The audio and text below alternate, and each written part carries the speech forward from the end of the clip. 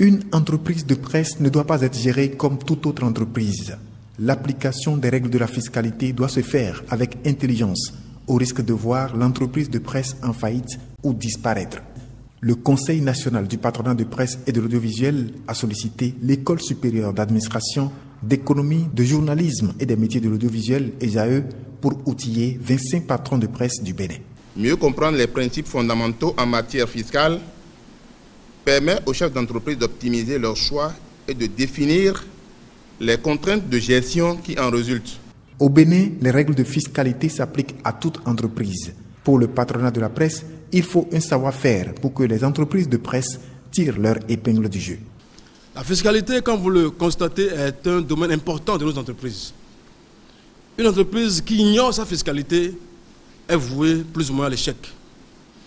Une entreprise qui oublie cette déclaration fiscale est vouée à l'échec.